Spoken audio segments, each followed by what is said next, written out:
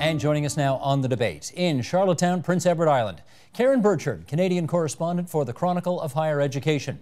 In New York, New York, Julie Des Jardins, author of The Madame Curie Complex The Hidden History of Women in Science. And with us in studio, Imogen Coe, chair of the Department of Biology at York University, currently on sabbatical, Sandy Graham, lecturer in computer science at the University of Waterloo, and Diane Freeman, president of Professional Engineers Ontario. And it's great to welcome you all both here in the studio and in Points Beyond to our program. I want to start by putting up two graphics, uh, the substance of which I'm sure all five of you know all too well, but I'm going to share this with our audience and then we'll come back and chat. Michael, if you would. First one here university degrees by gender. And we can see these are 2008 numbers that when it comes to bachelor degrees, 60% of the students are women. When it comes to master's degree, there's still a majority who are female. But then once you get up to the doctorate degree, those numbers flip around, and almost 56% of those are men seeking doctorate degrees. One more chart. Of all of those women who are seeking post secondary education, university enrollment, almost 20% are going into social science and the law, 17% into the humanities, 15.5% go into business, 9% go into the study of education, and then look what happens once you get into the sciences. Not even 8% in physics and life sciences, 3% in architecture, and 1.4% of women who are in university in 2008 2009 study math and computer sciences. Okay, let's try and find out why. The so called STEM careers science, technology, engineering, math women are clearly not choosing these fields. Julie, start us off. Why not? Wow, where to begin, right? Um, well, you know what I like to, we like to think it's a numbers problem and that we're just not getting lots of numbers of women into science. But I, I think it's a cultural problem. I think it's a problem with the culture of science. The culture has been masculine really for as long as we've had professional science. I mean, part of the whole process of professionalizing science meant infusing masculinity into it. So this is a very, very deeply seated historical problem. Diane, how would you follow up? I really think that she's on the right path here. It's just that even young children are getting those images right from elementary school that the careers associated with mathematics and science tend to be male dominated. And in addition to that, young women are more willing to identify that they are not naturally skilled in mathematics and sciences, and young men to say they are skilled in that, when in essence, they probably have equal skills. It's just young men seem to be more able to say, this is what I do best. And young women have a tendency to say, this is what I work hardest at, and I don't necessarily feel confident doing it. Karen, throw another, another issue into the mix if you would. Well, I think that it's a very complex issue uh, to start with, and if you you have to delve beneath the, the statistics, and they're not always what they appear to be.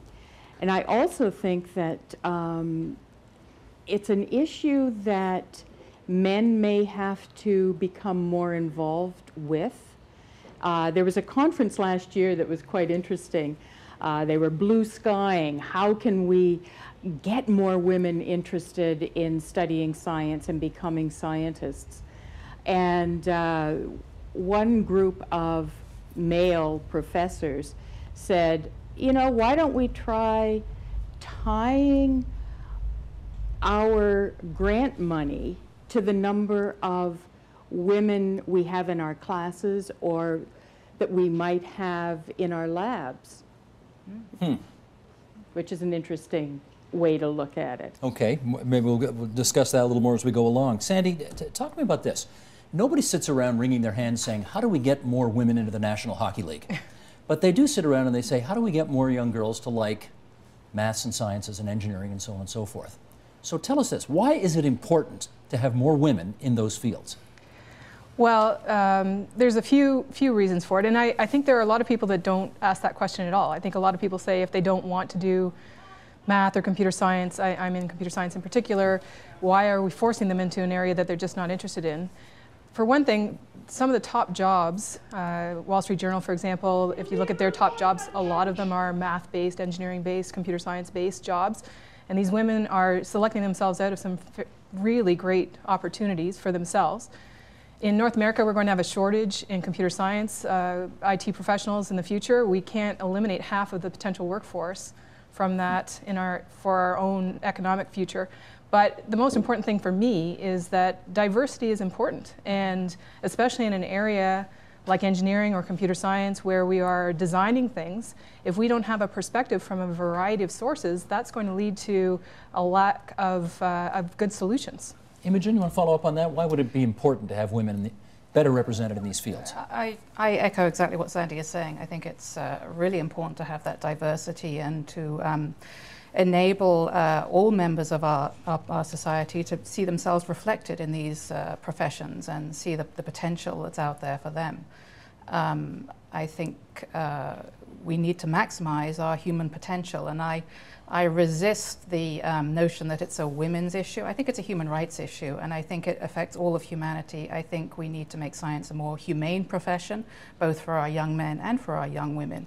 And I think when we become more inclusive, then I think we're going to only raise the, the, the standards and raise the profile and, and uh, improve the diversity. Julie, the expression I've read about or I've heard is women are more interested in people, men are more interested in things. And that's why, right. you know, you don't see as many women dealing with things. You see them in professions that have more to do with people. Does that make sense to you? Absolutely. Well, I have, to, I have a seven-year-old daughter who is one of these girls that's much more interested in things, I have to say, and I get the kindergarten teacher calling me, telling me that there's something wrong. and I asked her, I said, you know, what about the boys in the class? And of course, boys in the class, that's totally acceptable. Um, I'm not saying that women inherently or girls are inherently this way, but God knows they're encouraged to be this way. Girls are so supposed to want to be much more social. Boys, it's not a big deal if they're much more isolated and like to tinker with things and be on their own. And in fact, many people suggest that this is the makings of a good scientist. So unfortunately, even if girls do have these proclivities, they're not encouraged to continue along with those proclivities. Sandy? I, would agree with what, what you say, but I think the other aspect of this is that we don't want to change girls. I, that's not really our goal here. We don't want to make girls be more like boys. We want to have that perspective, their perspective, come in and into these, these areas because it broadens the field. Diane. Absolutely. The interesting thing is you said that it's girls are more interested in people, but engineering really can be about people. Now, I know and you engineers say that, but come on, engineering is more about things than people, isn't well, it? Not what I do. I mean, I'm worried about air quality. I'm worried about when you walk down the street, whether or not you can do so and breathe the air safely. And that's really about people. It's just we, it's how we communicate it. It's how we reach out and communicate. And I'm not talking about just communicating to young women, but men too. And Tyseer Aboulnasr, who you've had on this show several times, who's the dean at UBC, has said on many of an occasion, if we can better communicate that engineering is about people, is about serving the public, then we might actually even attract more and better engineers into the profession and more women. Karen, is that really uh, an accurate, you know, I, I summarized it by saying boys are interested in things, girls are interested in people. Does that sum up a lot of what we're talking about tonight? Yeah, more or less. But we also have um, maybe the flip side of that. It's the where you have women in areas where more so than men. For example, the last 10 years I've seen a, a, a really tremendous flip in veterinary medicine, for example, where now most of the veterinary medicine colleges in North America have between 80 85% women and only 15 uh, to 20% men. And that's a, that's a real flip. And they're very worried about this. And it's mainly because they would like to have a gender balance hmm. and the diversity there. You can't have too many of one sex uh, in, in, a, in a profession and they don't. Uh, this is a this is a big topic of discussion right now within uh, the vet colleges. Like, what what can we do to attract more uh, more balanced hmm. um, popula- school population? Understood. Know? Diane, let me bring you in on this. And this, I mean, we can't do a program about this without talking about one of the most horrendous things that happened in the history of our country. And you know, I'm talking about 1989. Marc Lépine uh, went in with a with a gun into Concordia and murdered 14 female engineering students. After that, to the late 1990s, female enrollment in engineering, schools went from 12%, I'm told, to 22%. There was a real sense that we're not going to let this, you know, fill in the blank, uh, you know, have a, have a posthumous victory in some respects. Was there a correlation there, in your view? I don't know about that. I think that it brought attention to engineering, certainly, and it brought attention to the fact that women women are in engineering. They are in the profession. They are doing things.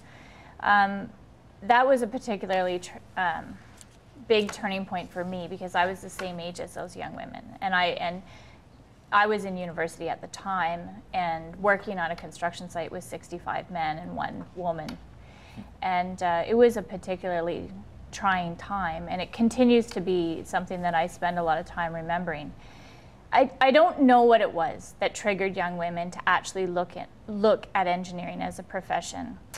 But what concerns me is why did they stop looking? Well, that's what's interesting because Karen, uh, Karen, I'll bring you in here. At 2003, it starts to decline down to 17%, and then we saw where the numbers are right now.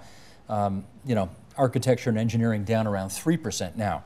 What happened exactly? What do you think? I don't know. Um, it's it's a puzzlement. I mean, as I, as I said, it's complex. Um, I think that a lot of girls decided that maybe engineering wasn't the right track that they, they wanted to go into. Uh, there was, we, we did have mentoring, we've had uh, role models. There's a movement to, you know, to have more women engineers.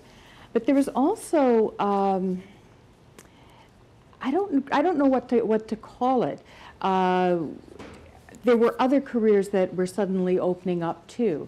And I guess women just, you know, the women just decided, no, I don't really want to, want to uh, become an engineer. And I don't know how you break that. I don't know how you get through that. Because even within the engineering field itself, most of the women who are engineers or engineering students, I mean, 40% of them are doing what? Environmental engineering, and computer engineering is very, very low. Um, I believe it's like uh, 9% or something, at a time when there are jobs galore just waiting for somebody to take. Uh, graduate with, uh, with a degree in, in uh, computer engineering. Sandy, you got a theory on that?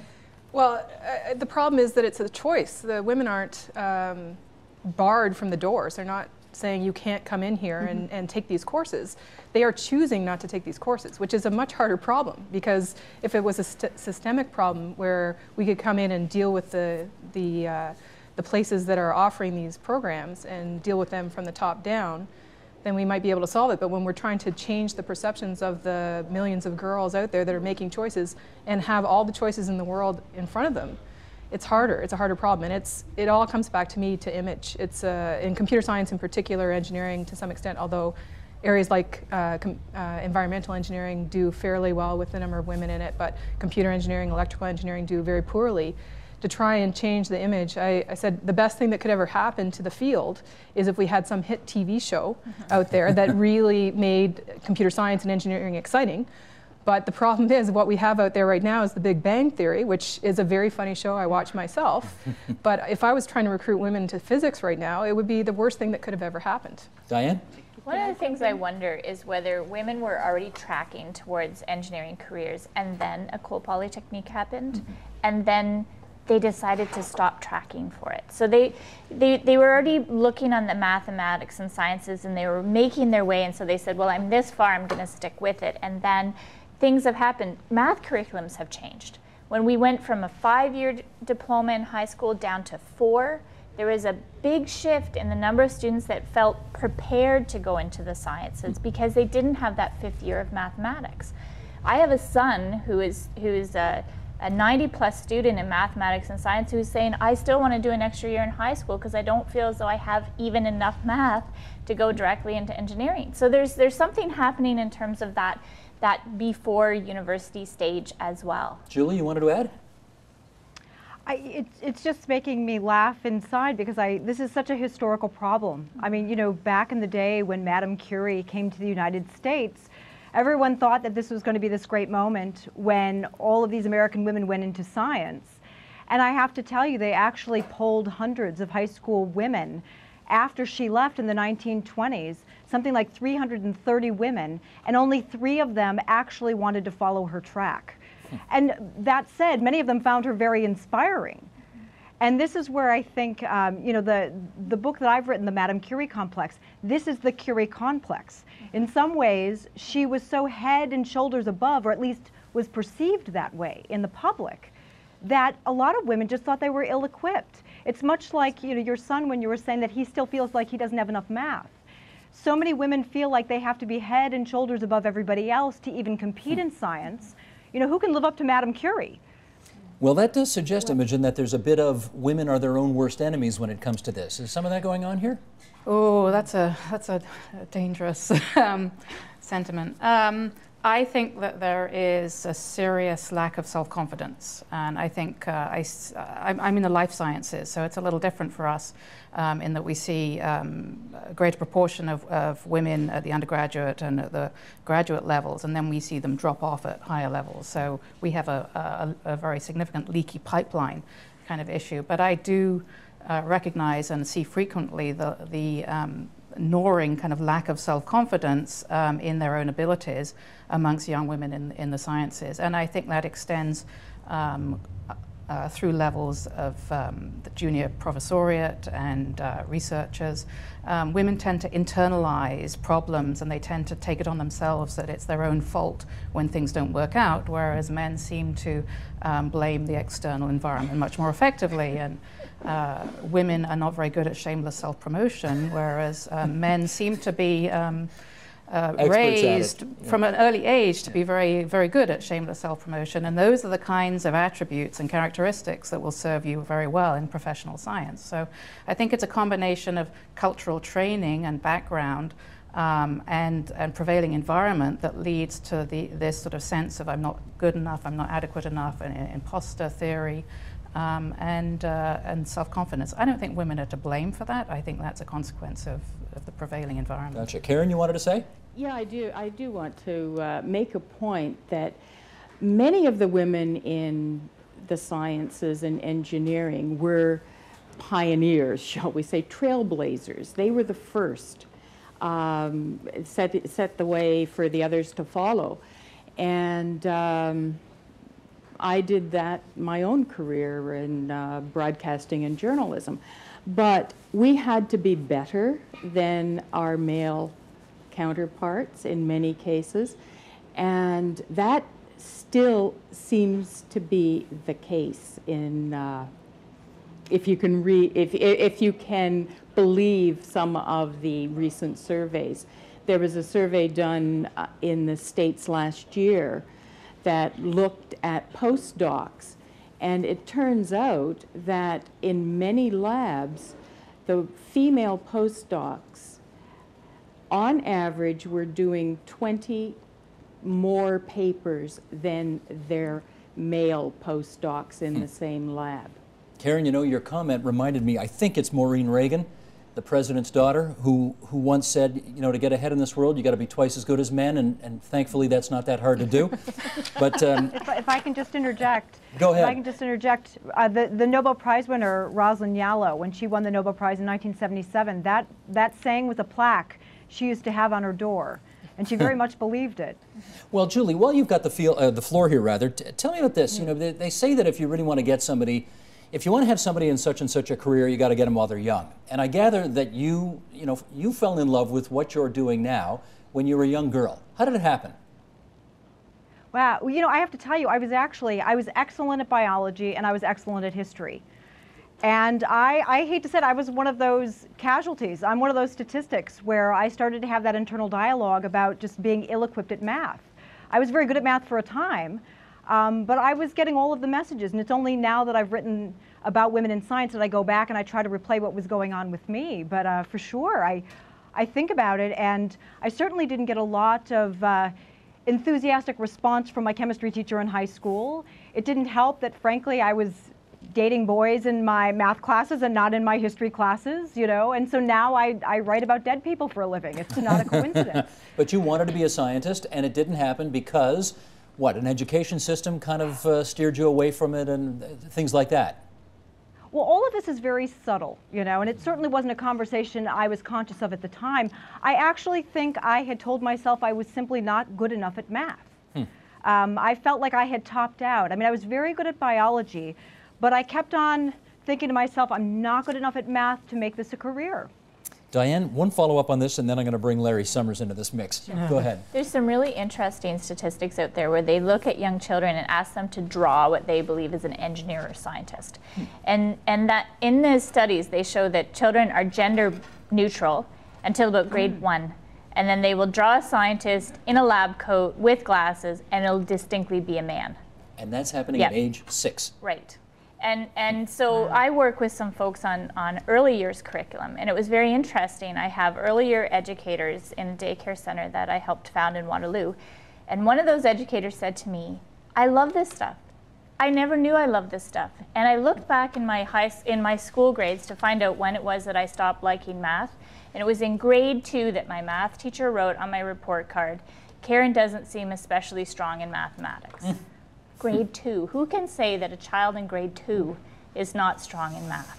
Well, let's look for another possible explanation here, and I need not remind the people around this metaphorical and actual table of something that the former president of Harvard University speculated about a number of years ago, and here's how it was written up about in Slate magazine.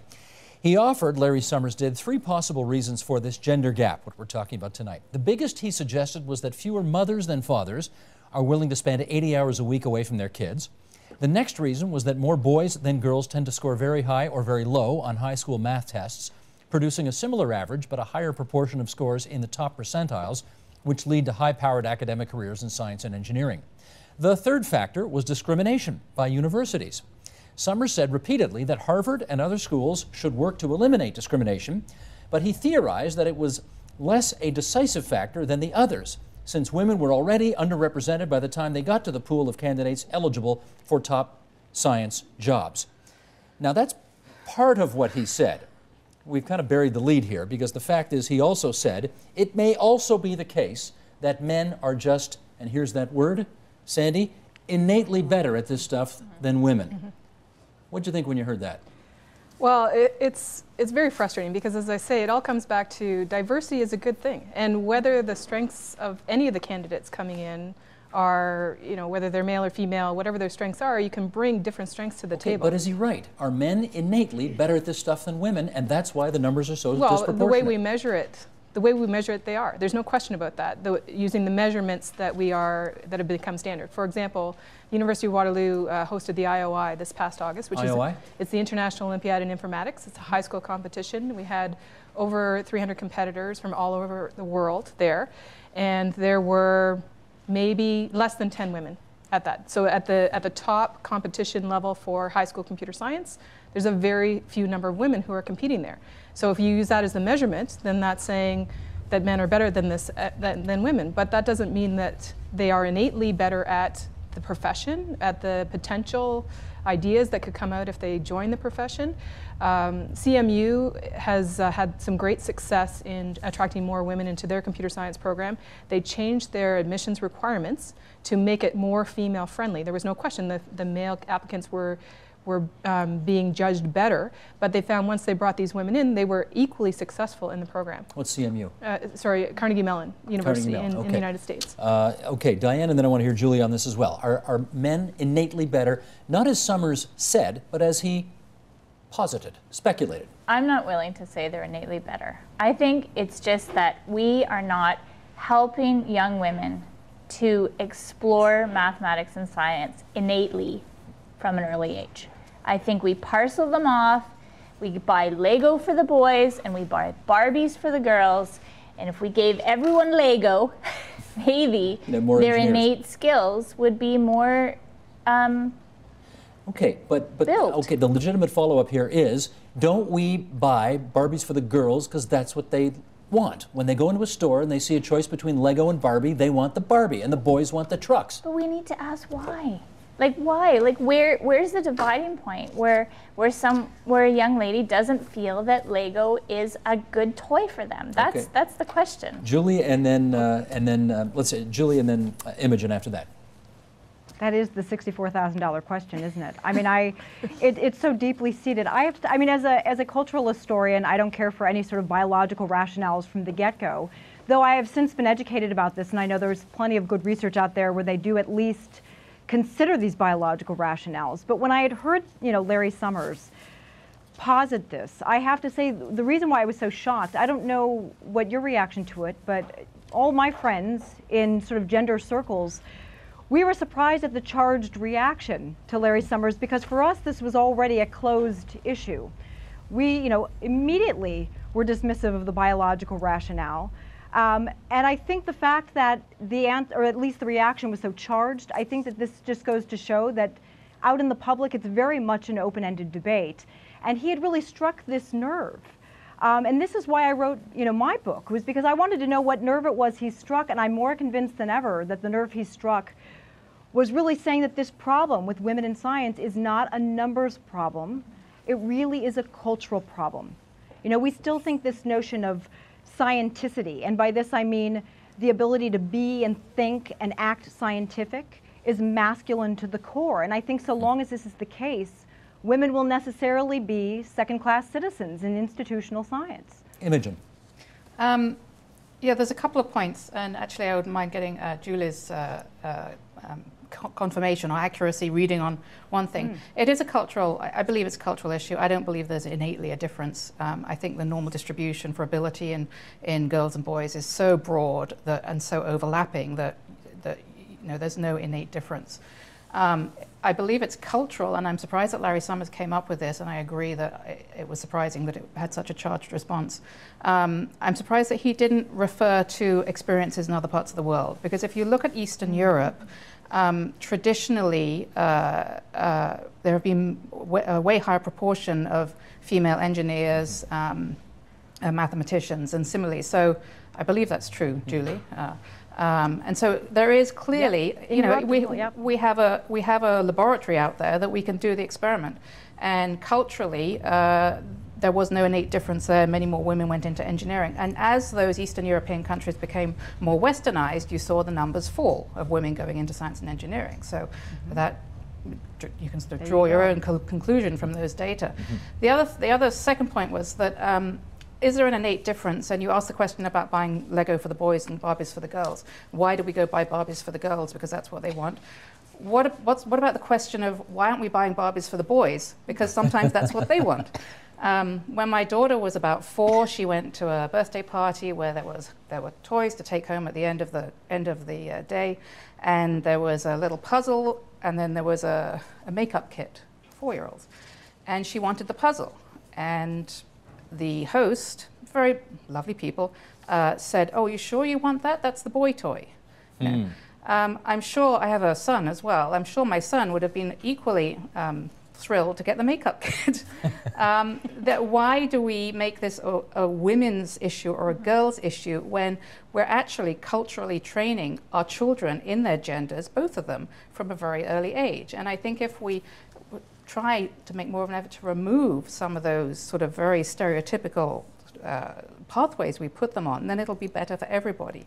We can't just focus on how we raise our girls. We have to focus also on how we raise our boys. Well said. Karen, we Can I haven't heard you yet. here? Yep, go ahead, Karen. Um, first of all, Larry Summers lost his job. I just want to get that Yes, he did. He out did. there. Um, secondly, let's talk about Barbie for a second.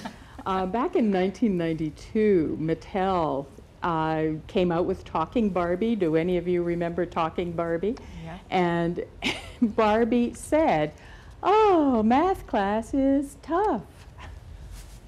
And that caused a huge backlash, and they had to pull Talking Barbie off the, the market.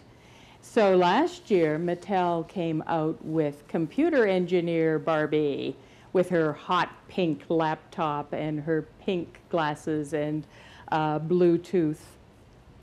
And uh, she wears a t shirt with uh, neon binary code up and down it. you know. uh, so apparently, they, they claim they designed it with the help of uh, the um, one of the American uh, engineer, women in engineering groups and also the American Women in Science. Hmm. Well, let's find out. Sandy, is that how you normally dress for work? Uh, no, this is how I normally dress for work. Um, okay. I, I am very conflicted about computer engineer Barbie. I, I, they had a vote to see what the next Barbie would be, and I did vote for computer engineering Barbie without knowing what she would look like. Um, I agree, it's, it's kind of scary. It's, it's, you know, the ones and zeros on the t-shirt or with the Bluetooth and, and the glasses. I mean, it's all very stereotypical, which is, I'm, I'm not about enforcing the stereotypes because I think that's a huge problem in attracting women. But at the same time, at least there's a computer engineering Barbie. So, so it's, it's a hard thing for me to reconcile with myself. Is Sandy? computer engineering Barbie a good thing or a bad thing? Speaking of stereotypes, Sandy, how often do you get emails from people who don't know you and assume that Sandy Graham is male? It, it happens occasionally. It's, it's uh, you know, because, especially because I'm a, a teacher at a university. And so students and, uh, and then people just generally often mistake me for male. Uh, Karen, in the wake of the Summers' comments, universities did start to hire more female faculty and they promoted women to head engineering schools, that kind of thing. Did you find that to be a, a, was that real or was that tokenism in your view? No, I don't think it's tokenism. I think uh, they, they were picking the best candidates in many cases. Uh, but if you look at where the women are, they're all, you know, they, if you can imagine a pyramid with, uh, you know, the president at the top and the full professors, then the assistant professors and the lecturers, and then the, uh, just the, the teaching assistants or whatever you want to call them, and then the sessionals, or I guess that would be reversed. Um, you have the bulk of the women are in the lower categories, and they're gradually going to have to work their way up. Uh, but it's a start. Right. I do want to bring up another point, if I could. Um, I came across a statistic the other day from the UK, and they have 350,000 women who have degree qualifications in the STEM subjects who are not working in their fields. You know what? Let's for, forgive me. I'm going to jump in, Karen, because we got five minutes to go, and I wanted I want to put one more thing on the table here, and that is, you're certainly well aware of these numbers, uh, and I'm sure. You know what? I'm, Diane, I'm going to get you to comment on this first. Michael, let's bring up board two if we can. Canada Research Chairs, 25% awarded to women. In the scientific fields, 18.3% of those Canada Research Chairs last year awarded to women. Uh, the federal government appointed 19 new Canada Excellence Research Chairs, and guess how many of the 19 went to women? Zero. This must have got some conversation in your circles, Diane, when that news came out. What Well, did people say? Yeah, it's a heartbreak actually. And and you do want the, the research monies to go to the best research projects. So you, you have to assume that they've based their decisions on what was put forth from the researchers. But it's a challenge and it makes you ask the question, was how many women did apply? Because yeah, you, you, you do no need to to know you do need to know the, the back to the statistics. And one thing that I wanted to say was we've talked a lot about academia as opposed to what's happening in the workplace. And within the workplace, it's interesting. I think that they're, they're seeking diversity too from a very small pool, right? And, and one of the events I went to was with Engineers Without Borders, and they had over a thousand attendees at their conference, all engineering, science, technology. 58% were women in that room. Hmm. Where are they getting them all from? They are there's there is absolutely a cultural piece associated with serving the broader public that attract women. And Engineers Without Borders have found some kind of key to unlock that interest. Is it possible, Imogen, I'm, I'm sure there was some discussion in, in your circles about this, that, that there simply were no qualified women to give those Canada Research Chairs to? I think there may have been that discussion, but I think it was pretty quickly dismissed because there clearly are very highly qualified women out there. But I think we have to look at the mechanism of how those uh, chairs were uh, solicited and how they were awarded. And we need to realize that there still exists something of an old boys club and there still uh, exists an element of networking um, and connections and promotion of your fellow uh, gang members um, in in uh, in some of these kinds did you, of events. Did you mean to say gang members? Oh, Yeah, uh, maybe a your little fellow bit. tribe, maybe Yeah. we'll say. Julie, I- Julie, talk to us. I mean, it's 100 years since Marie Curie won the Nobel. How, how well does the Nobel Committee recognize the work of women in its deliberations? Well, you know, if you looked at 2009, the numbers look great. There were three women in 2009. That said, that's three women out of a total of 16 ever since 1900. And I'm counting Madame Curie twice because, of course, she won 2 One in 1903 and then another one in 1911. This, is, this happens to be the 100th anniversary of her second Nobel Prize, by the way. Um, so since then, what's really interesting, if you look at the women who have won science Nobels, well, if you look at people who've won Nobels anyway, of course, there's a disproportionate amount of women who have won them, of course, the Peace Prize and the Literature Prize. But then once you get into the sciences, it's not a coincidence. You have 10 women that are in the biological sciences. You have, I think, four women that have won them in chemistry, and you have two women who've won them in physics. And of course, historically speaking, physics has been the most sort of high prestige and deemed the hardest of the sciences. As they get softer and squishier, then women tend to have a little bit more traction in them. Diane, Can I- I jump you got, no, forgive me, I'm down to my last minute here and I want to ask uh, Diane this question. You got kids? I do, two boys, You got two boys. How old are they? 15 and 12. So you are you are already in a field, engineering, which is massively dominated by men, and then you took time out of your career to have kids. I sure did. How did that all work out? It was a challenge. It set me back. No matter what, no matter which way you swing the cat, I was not physically in my office for 12 months. At that time, it was a six-month maternity leave, and so it's very hard to argue and say that that the the colleague that started working for the firm at exactly the same time as I did has as many years in. They have more, but you know what? Engineering firms are coming a long ways. My engineering firm is a consulting firm, Conestoga Rovers and Associates, and they recognize the, the importance that they've put in in their employees and in particular women and if they want to take time off work or they want to come back and work part-time we're project-based work it's more important to them to keep that technical expertise within the firm and support someone through those transition years so that they have them when they want to come back to a full-time career. And that is the last word on this program. Thank you all very much for participating tonight. Out of town in Charlottetown, PEI, Karen Birchard, Chronicle of Higher Education, Julie J. Des Jardins, the Madame Curie Complex. She was in New York. Thanks so much, you two, for joining us on the line in Points Beyond. Pleasure. Here in our studio, Sandy Graham, who's a woman at the University of Waterloo, and Diane Freeman from Professional Engineers Ontario, seen there on the right, and Imogen Coe from York University on the left. Thanks so much, everybody.